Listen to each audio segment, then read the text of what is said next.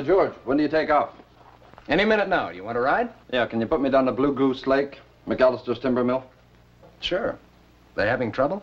Now, there's been a fight of some kind. No details yet, but one man's dead and it looks like murder. You picked yourself a nice job, didn't you? That may not be as bad as it sounds. Ten minutes? Fine, I'll meet you at the landing stage. I'll be there. Oh, by the way, there wasn't a department aircraft available. I'll have to take my own kite. I'll bring along a ball of string with me.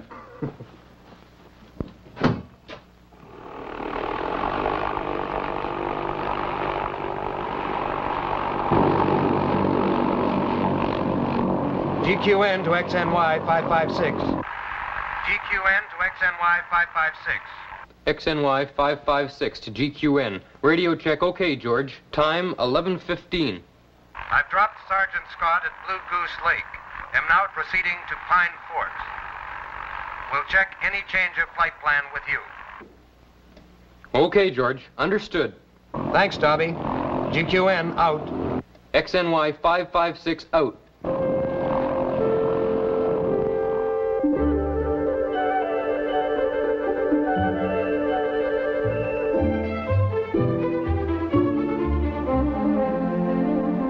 XNY 556. Indian River to Pike Tower.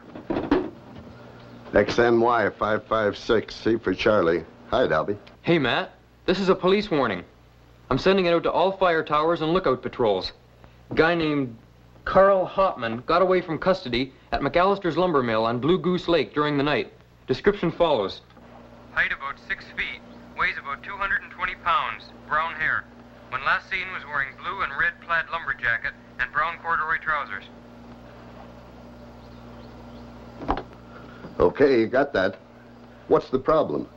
He's wanted for murder. He's armed. He may be desperate. If you come in contact with him, don't try and hold him. Just check with me as soon as you can, okay? Okay, Dobby. Understood. Over and out.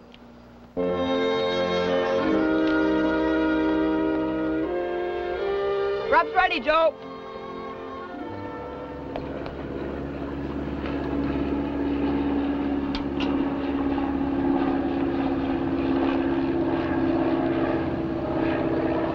George? Can't be. He'd be away, of course. Supposed to go up to Pine Forks. Well, it sure sounds like his old jalopy. Sure it does, but I don't see how it could be. Hey, Joe, doesn't that sound like George? That's what I was thinking. But he was supposed to go up to Pine Forks. Well, maybe he changed his mind. Why don't you call Matt Craig's fire tower and, uh, get him to call Indian River? I'll call after lunch. George changed his flight plan. He'd have checked back.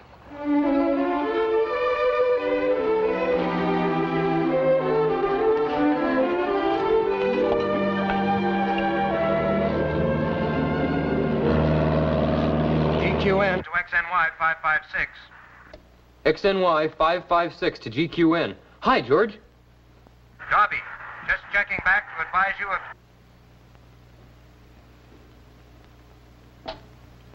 Hello, GQN. XNY 556 calling GQN. Can you hear me? Over.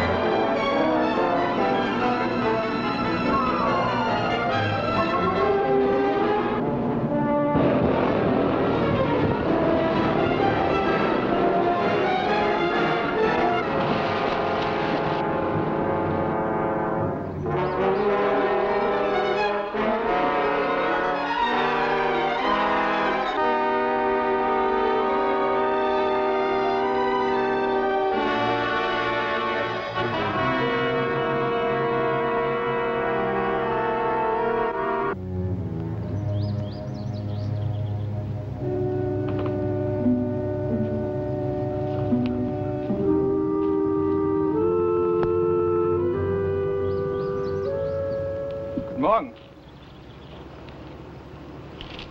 Hi. Was ist passiert? Can we uh, have it in English?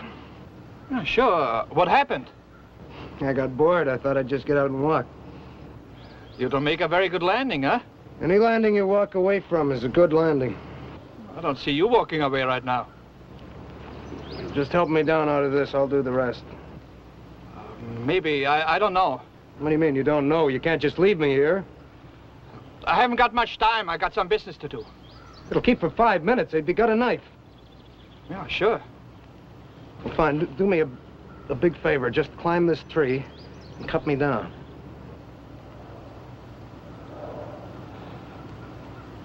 Okay. But you know what? I'm just being sentimental.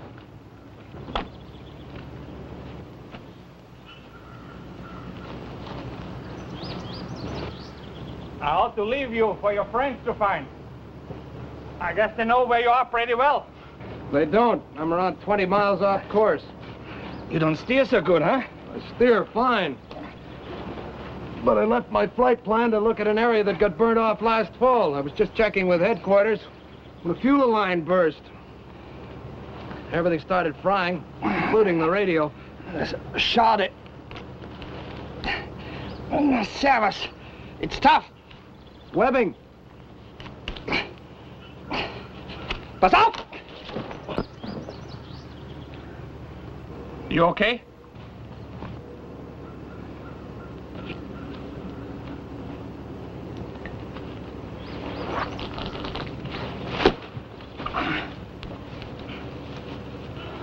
How are you? I think I broke a bone on my foot. So you can walk? Hmm. Not enough to get me out of this. I think somebody's going to be looking for you. Not here. I told you I'm off my course. Nobody's going to see my chute up there. And they won't see your aircraft because it went into a little lake. Yeah, I meant it to. It's my job to stop fires, not to start them. Forest ranger? Chief ranger for this area. My name's Keeley. It's too bad, but I've got to leave you here.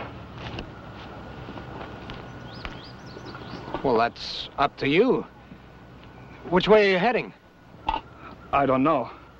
Anyhow, you're bound to hit civilization of some sort within 24 hours. When you do, will you get a message through to my headquarters at Indian River, giving them my position? I'm sorry I can't do this. What's the matter with you? Look, when somebody gets in trouble in the bush, any reasonable guy does what he can to help. Yes, I know. And I'm ashamed. But that's life. Phil Glick and adieu.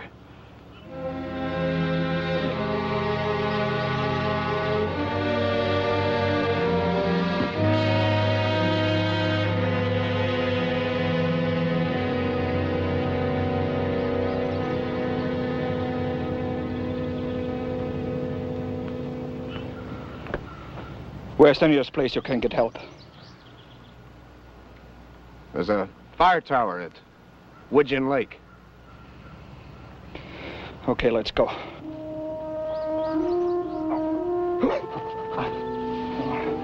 I guess you better ride on my back, huh?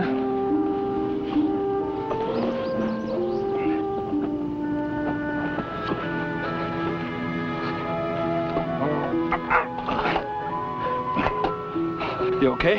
Fine. I don't think I got your name. Jones. You're German. Oh, Austrian. One of the Austrian Joneses. Ja, waarom nicht? How far is it? About 20 miles? Hey, Chub, you hand me the walkie-talkie. I think I'll call Matt Craig. Just check with him if that was George going over. I think it was. Could have been, but it puts him way off course.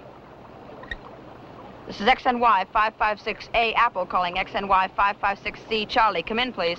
XNY 556, C for Charlie. Pete, am I glad you called? Listen, I think we got trouble. What kind of trouble? We think George has gone down in the bush. Good grief, where? He called Indian River about an hour ago, but his radio cut before he could give a fix. Hey, Matt, I think he went over near here a little over an hour ago. We're on Spruce River, about five miles up from Pike Falls. I'll get Dobby to send over an aircraft. That's bad country for an air search. Sure is. Pretty dense. Well, we'll start looking on foot. Check back if you get any kind of a lead, son. Sure will, Matt. Over and out. Did you get it? Yeah, George made a forced landing, huh? Something like that. I knew that darned old buggy would fold up on him one day. Gee, that's tough. Well, don't worry about it. It's insured. Yeah, but George. You know what? George has a kind of habit of landing on something soft.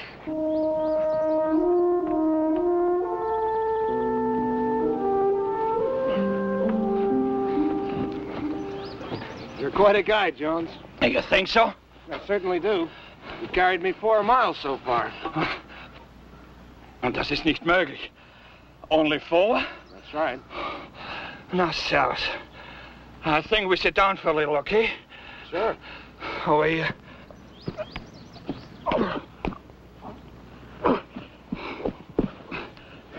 You okay?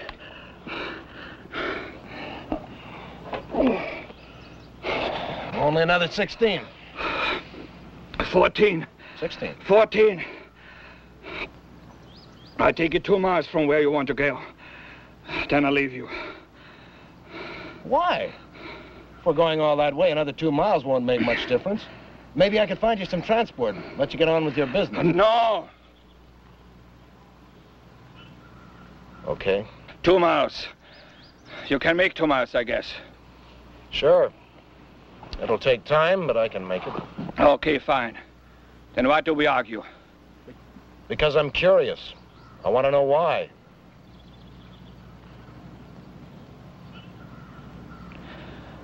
You want to know, huh? I'm curious. Okay. Because... Because I'm wanted by the police. For murder.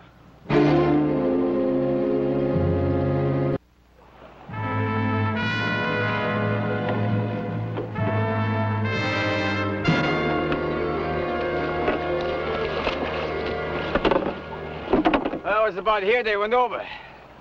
Heading west. Joe, look at this. Now, here's Spruce River. And we're about here, right? Yeah? Now, where was that big burn-off they had last fall? Right here. And I think you got something. I heard George talk two or three times about taking a look at it. So, if he took it into his head to look at it today, he'd be somewhere between here and here. Sure? Well, let's go find him. So you broke out during the night and lit off into the bush? Sicher. You think I'm crazy? You think I'm going to stay around until the police come? Might have been better if you didn't kill this. Yeah. What did happen?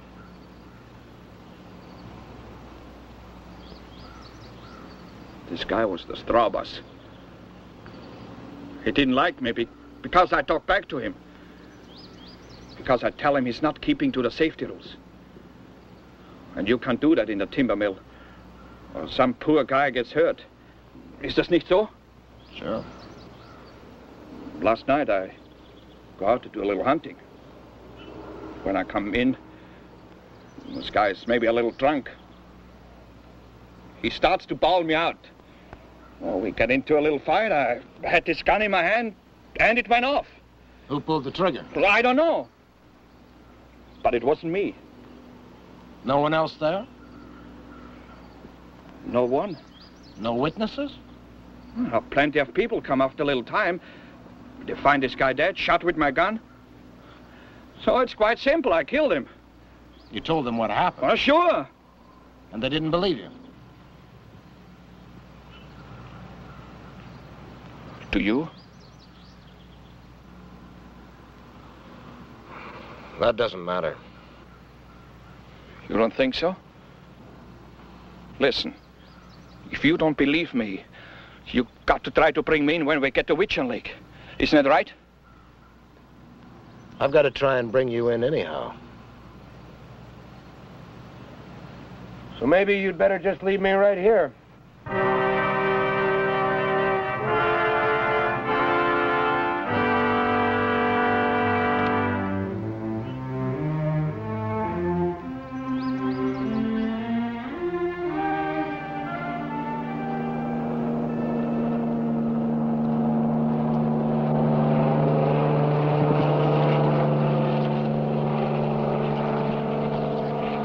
Dobby sent that one over this way. Yeah, I don't think you'll find anything. Not a chance. It's too thick. Okay, so it's our baby, huh? Hey, Pete! Joe!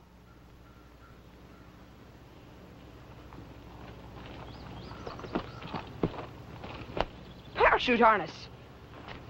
This is George, okay? Well, I guess he's all right. Seems to have walked away from it.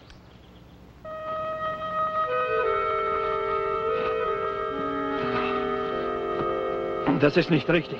Come again? I say it's not right. What isn't? Why don't we sit down?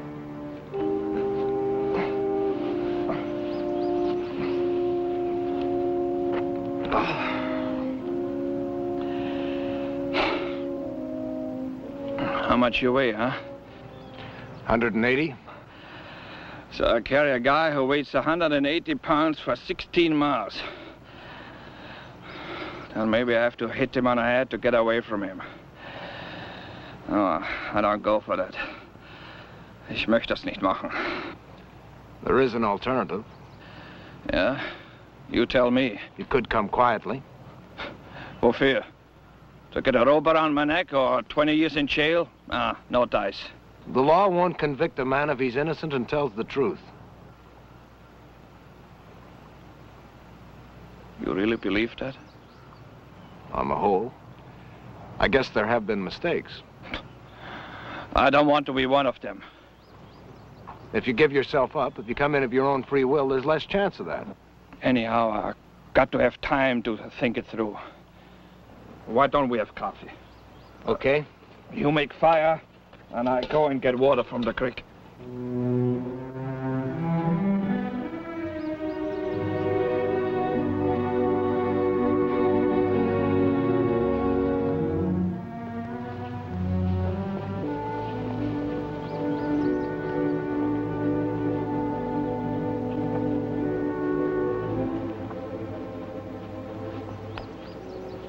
See this here?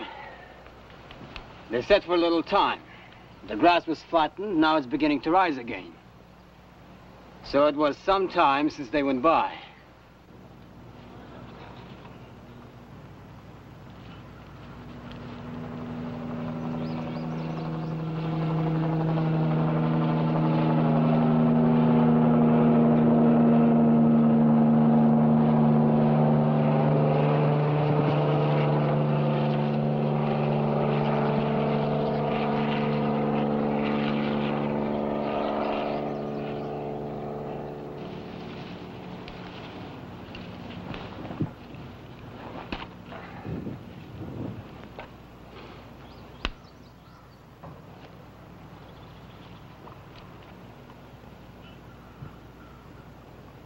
Someone is looking for you, Probably. but you don't make any signal to him. No. I don't understand. Warum nicht? You're not the only guy who's got a right to have time to think things through. But that doesn't mean I'm not going to take you in, If you can. if I can. You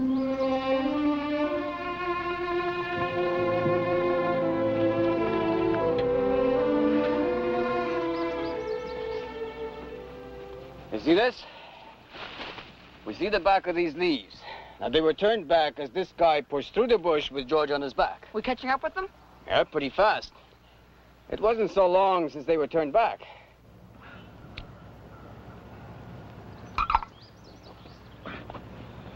Okay, here we go. Ready when you are. Would you like to get a little water from the stream, wet down the fire? Sure.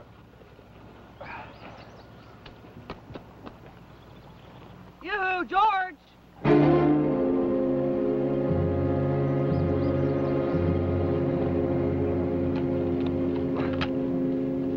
Pete, over here. Hi, fellas. Where'd you spring from? Hey, George, you okay? the crate's gone. I bust a bone in my foot, but I got along okay, thanks to my friend here. I'd like you to meet my friend, Mr. Jones. Hi. Thanks a lot for helping my brother. Things could have been pretty tough for him in there. It was nothing. I guess you'll want to get along. I've taken you quite a bit out of your way. Isn't he coming to Indian River? We could uh, give him a pretty good time, kind of celebrate. I hope he'll come. Quite soon. Oh, I think this is yours.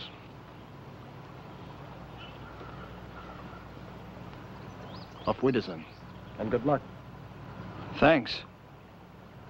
Ich hoffe, Sie werden bald gesund sein. Adieu.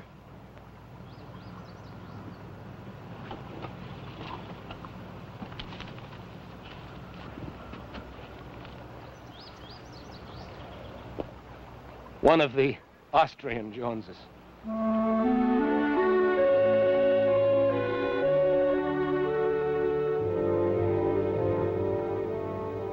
I, I just don't get it, George. You spent several hours in the bush with this guy and you found out nothing about him. Weren't you curious? Suffering from shock, I guess. Oh, come off it. You didn't really think his name was Jones. Well, that's what he told me. He spoke German. Joe, Pete, and Chub all heard him. That's right. And you knew about this business at the timber mill. Didn't you put one and one together? I guess I, um, wondered a little. Look, George, this is serious. Now, inside these four walls, quit stalling around and let me have it, will you? Okay, you can have it. This guy told me a story. He's in a pretty tough spot, isn't he? He sure is. Do you think he's guilty? Not my business. The judge and jury will decide that. I'm only concerned with facts. Inside these four walls, could he be innocent? He'd have a darn difficult time trying to prove it. If I brought him in at the point of a gun. That's right.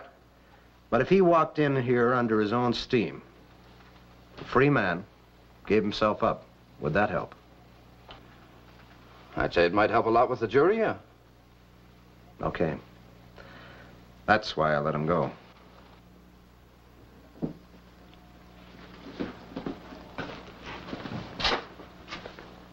I hope he does walk in here before he's caught. For your sake.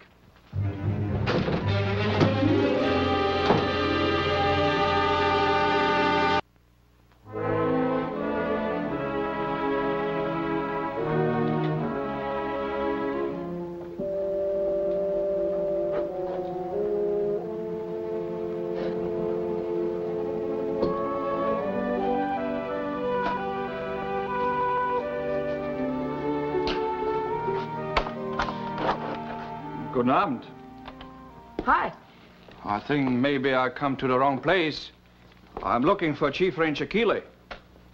Would you like me to take you to him? Bitte. Uh, please. Oh. I think you take this, huh? Sure. Boy, is George going to be glad to see you. He was getting a bit tired living under the shadow of the law. Well, let's go.